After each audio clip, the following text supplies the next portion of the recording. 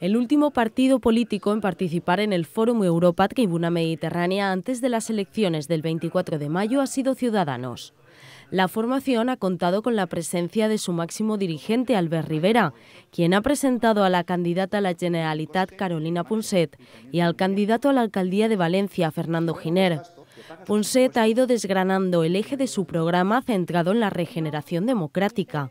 En materia sanitaria, esta formación aboga por una gestión eficaz y transparente, racionalizando el gasto, mejorando la atención primaria, regulando la demanda según necesidades e incentivando al personal, entre otros temas. El sistema sanitario tiene un déficit fundamental, que es porque es un sistema sanitario eh, centrado fundamentalmente en la atención médica o en la medicalización eh, masiva de los pacientes en lugar de la prevención. Es obvio que si invirtiéramos esa línea de trabajo y eh, realmente estuviéramos donde tenemos que estar, que es en la prevención, ahorraríamos muchísimo gasto sanitario.